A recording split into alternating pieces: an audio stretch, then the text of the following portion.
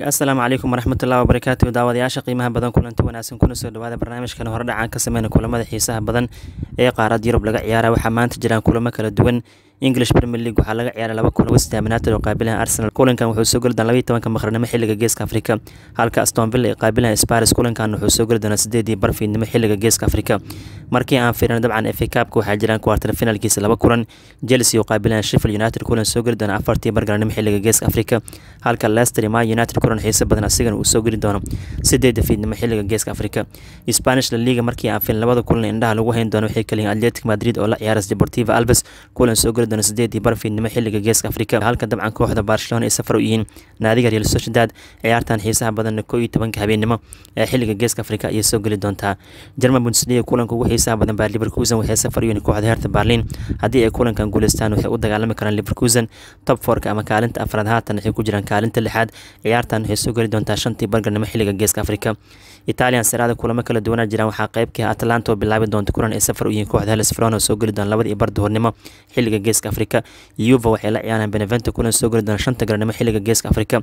Waqtigaasoo kale lasi waxay safar u yihiin kooxda udonesa halka dabcan sideeda fiidnimo caawa milan ay safar u yihiin valentina kulanka ugu dambeeya xiisaha badan markii eegnana kooxda napoli. Waxay dabcan safar u yihiin naadiga roma. Tobankii afartan shan habeenimo xilliga geeska afrika ayuu soo geli doonaa. Faranja ligan waxaa jiri doona kulan xiiso badan oo u dhexeyn doona kooxaha olympic leone iyo baris san german ciyaartan caawa waxay soo geli doontaa koo iyo tobanka habeenimo ee xilliga geeska afrika. Bal markooda hordhac ka sameyna kulanka xiisaha badan westham united qaabilaha arsenal ciyaartan soo geli doonto sidaan ka dhawaajinay xilliga maqribkii geeska afrika labaiyo tobanka markii ay tahay.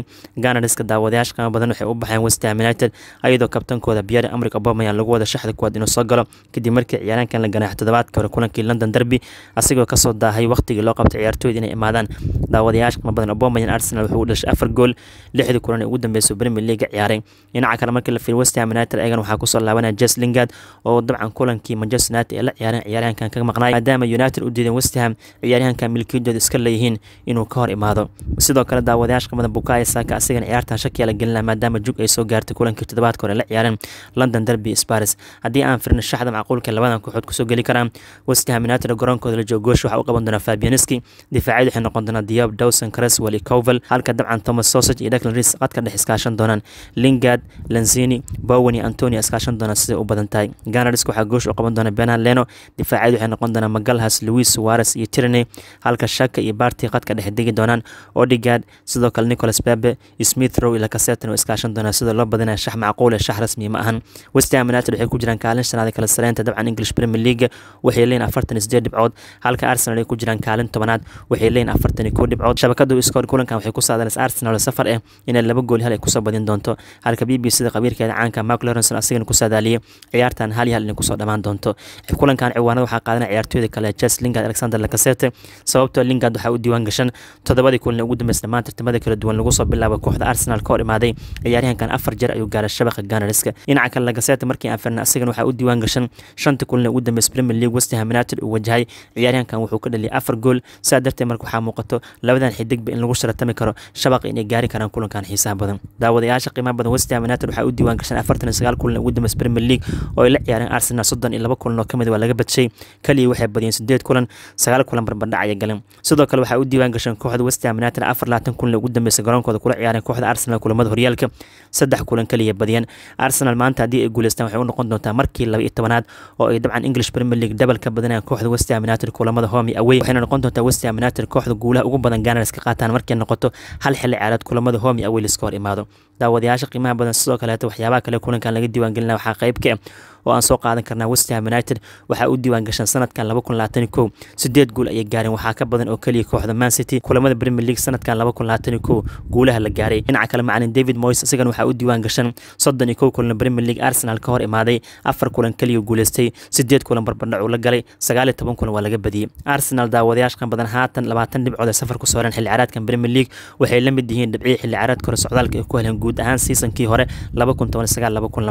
dhinaca kale arsenal waxaa u diiwaan gashan daawadayaasha qiimaha badan. Dabcan toddobadii kulan ugu dambeysay horyaalka ciyaareen kulan kasto shabaqooda ayaa kooxdan la gaaray. Sidoo kale waxyaabaha kale ganars u diiwaan gashan waxaa qayb ka ah xilli ciyaareedkan kulamada london derby ee kooxda dhibcaha ugu badan qaadato waa arsenal oo saddex iyo toban dhibcood ayay heleen. Marka idinkan aragtidiina ka dhiibta kulankan xiisaha badan yaa guuleysan doona bal markaana diirad saarna kulanka chelsea ee la ciyaaraan sheffield united f a cup quarter finalkiisa oo dabcan xiise badan. Sidoo kalena kulankan ka bilaaban doona garoonka stanford bridge afartii bargaranimo xilliga geeska afrika. Mustuuqal kooxiisa waxay ku jirtaa waqtigooda ugu fiican waxaa la rajeynaya golhaya keba arisbalaga inuu shaxda kuwaad soo geli doono maadaama golyahan spanishka dhammaan kulamada f a cupka xilli ciyaareedkan asigu ciyaaray.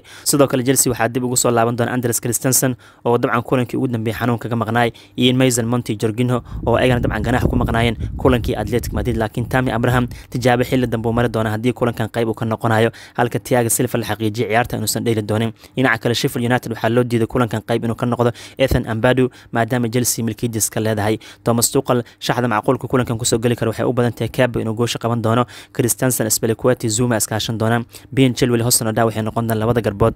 Jorginho covasage iyo monti iskaashan doonaan. Halka bulisage iyo jiruud dhanka weerarka noqon doona waa shax macquul ah ee shax rasmiya ma ahan. Shabakadu iskoor kulankan waxay ku saalaysay chelsea inay badin doonto shabaqan ilaa doonto ciyaartana ku soo idlaan doonto saddex gool eber. Daawadayaasha qiimaha badan sheffield united taariikhda hal mar f a cup chelsea ka badiyeen waana sannadkii sanadkaasna waxay isaga hor imaadeen finaalaha f a cupka waxaa qaaday sheffield united kadib waxaa la isku soo laabtay sanadii labaatankii oo f a cupka la ciyaaray. Muddada intaas u dhexeysay waxaa socday dagaalkii labaad ee koobka adduunka oo kubadda cagta ingiriiska gudaheeda lama ciyaaray marka sheffield united shan sano waxay haysteen koobka f a cupka kadib ayay soo celiyeen. Dhinaca kale shanta kulan ugu dambeysa kooxda chelsea f a cupka ee la ciyaareen sheffield united afar jeer oo ka mid waxaa guuleysteen kooxda chelsea. Weliba waxaa u suura gashay afartaas jeer shabaqood inay kooxda chelsea ilaashtaan.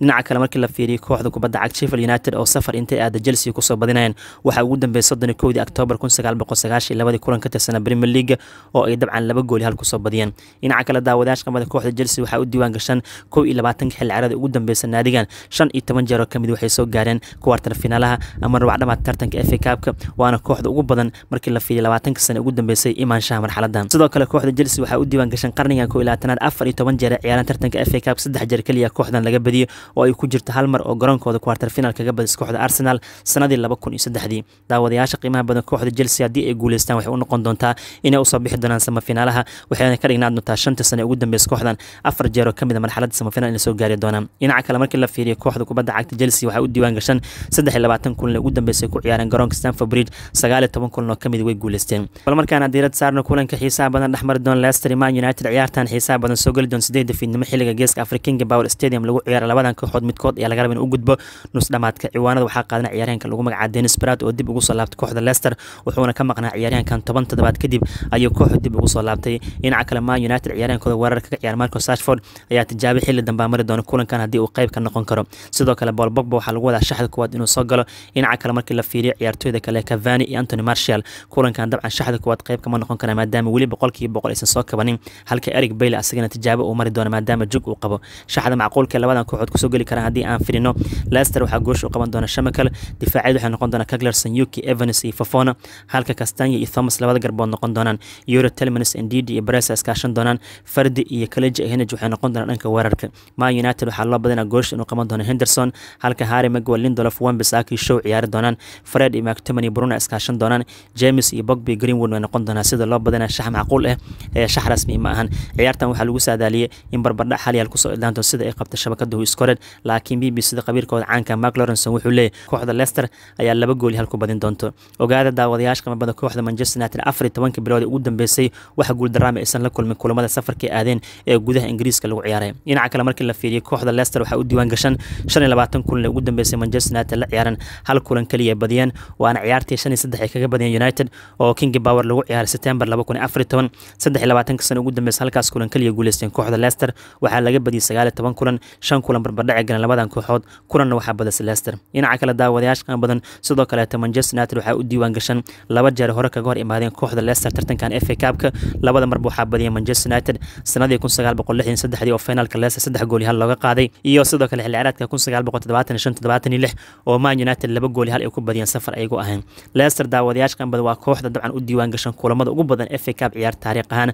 Haddana weligeed aanan ku guuleysanin sidoo kale daawadayaasha qaan badan kooxda leicester waxay baadigoob ugu jiraan markii ugu horeystan iyo sanadii inay gaaraan sama tartankan. Sidoo kale daawadayaasha qaan badan waxyaabaha kale la diiwaan gelinaya waxaa qaybkee branger rogers macalinka leicester hogaamiyo afar iyo toban kulan oo man united ka hor imaaday kow iyo toban kulan oo ka mid ah waa laga badiyey weliba waxaa u diiwaan gashan toddobadii kulan ugu dambeysay manchester united uu ka hortaga rogers wax guula ma uusan ka helin. Man united waxaa u diiwaan gashan sagaal labaatan kulan ugu dambeysay safar aaday kooxdan. Dhammaan tartamada kala duwan wax guuldaraama aysan la kulmin. Waxaa laga hadlaa ciyaaraha gudaha ingiriiska maxalli maxalliga lagu ciyaaro oo isugu jiraan horyaal iyo koobabka kaleeto. Sideed kulan barbardhace galeen kow iyo labaatan kulan way guuleysteen. Manchester united koobkan waxay ku guuleysteen laba toban jeer. Taariikh ahaan waxaa ka badan arsenal oo afar iyo toban jeer qaadeen sidoo kale united haddii ay maanta guuleystaan waxay u noqon doontaa markii soddon iyo koowaad oo ay soo gaari doonaan samafinaalaha dabcan tartanka f a kaabka waxayna ka tilaabi doonaan arsenal oo ay haatan arsenal isku mid ka yihiin min soddon jeer inay soo gaareen nusdhamaad koobkan. Dhinaca kale daawadayaasha qabada kooxda manchester united waxay ku jiraan waqtigooda ugu fiican markay noqoto f a kaabka sababta kooxdan waxaa u diiwaan gashan